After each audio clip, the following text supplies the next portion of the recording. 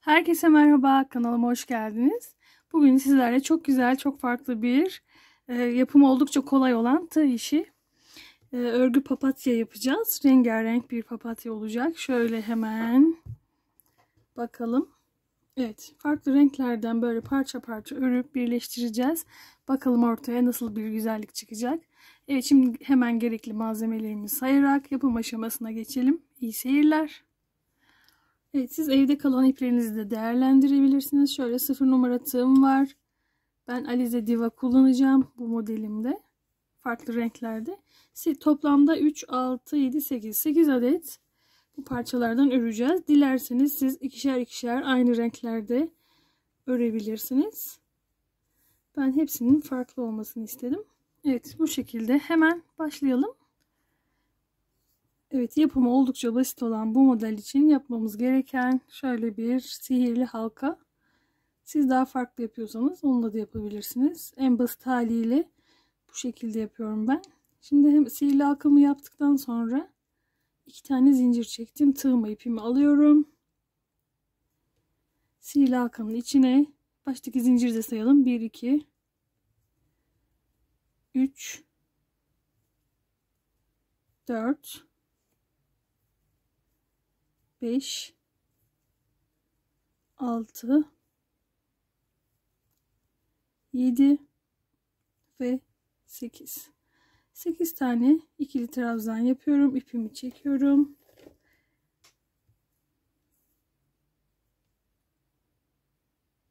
Şöyle ilk baştaki zincirin tepe noktasından ilmek kaydırma ile birleştiriyorum. Hemen iki tane zincir çektim tığıma ipimi alıyorum dibindeki ilmeği hemen bir ikili trabzan yaptım.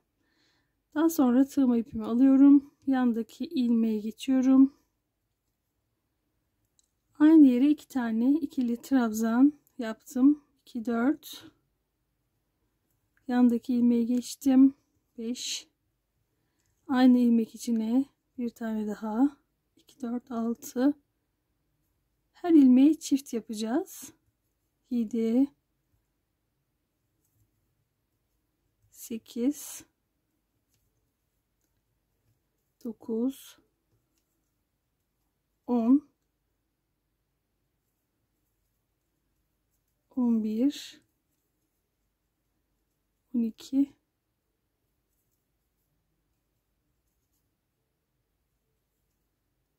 14 son olarak 15 ve 16 8 olan sayımızı iki katına çıkardık. Yani 16'ya. Şöyle ilmek kaydırma yapıyorum. Bir tane zincir çektim. ipimi kesiyorum. Hemen sihirli halkamı iyice sıkıştırıyorum.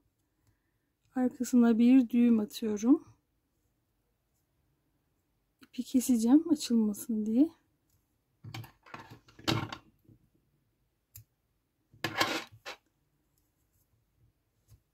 Şöyle bir iğnem var.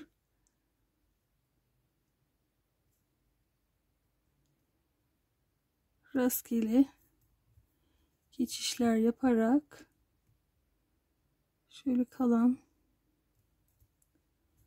ipimizi de gizleyelim.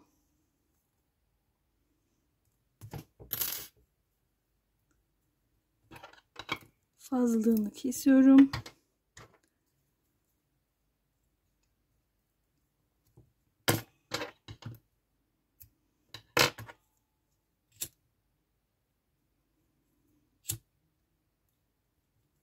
Evet. Hepsi bu kadar. Bu yapraklardan 8 adet örüp gelelim.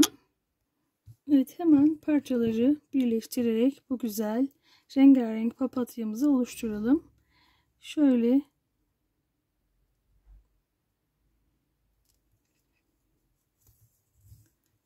hangi rengin nerede bulunacağına siz karar verin. İkiye katlıyoruz.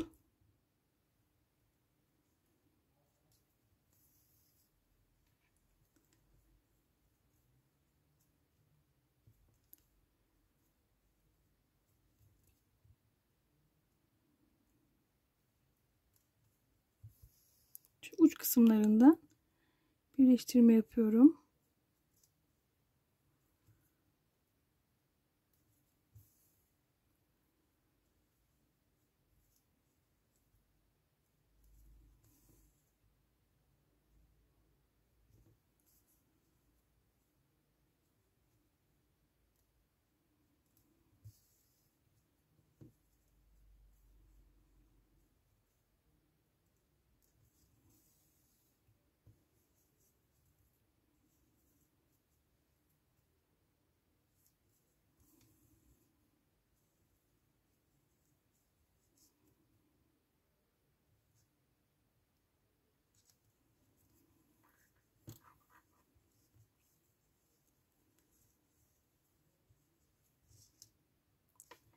İpimi iyice sıkıyorum.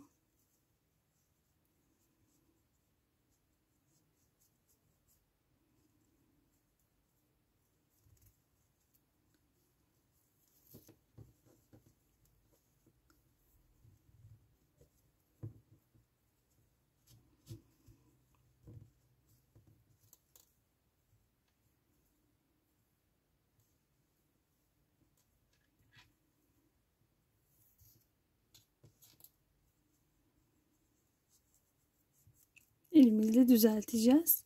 Öncesinde şöyle ortasından çıkıp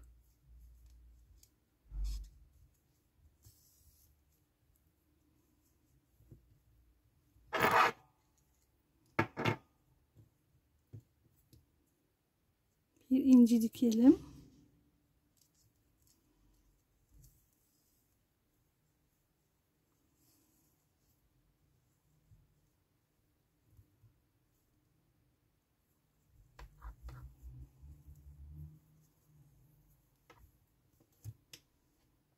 Evet şimdi tokaya hemen keçemi yapıştıracağım.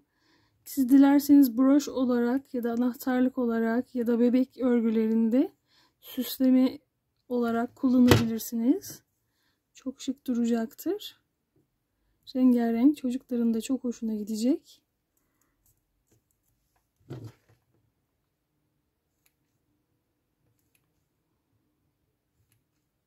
Silikonum tam ısınmamış galiba. Biraz daha beklemek istiyorum.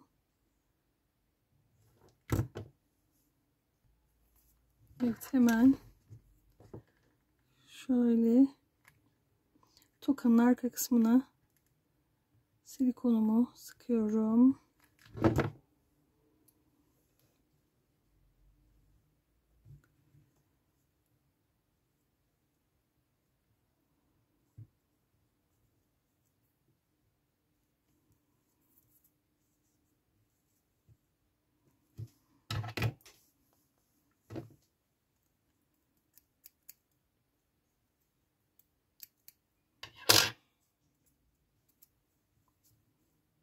Evet. Yapımı oldukça basit ve güzel olan bu rengarenk papatyanın, çiçeğin. Evet, sizler de umarak, umarım konuşamadım. Severek yaparsınız. Beğendiyseniz lütfen like atmayı unutmayın. Bir sonraki güzel paylaşımda görüşmek üzere. Hoşçakalın.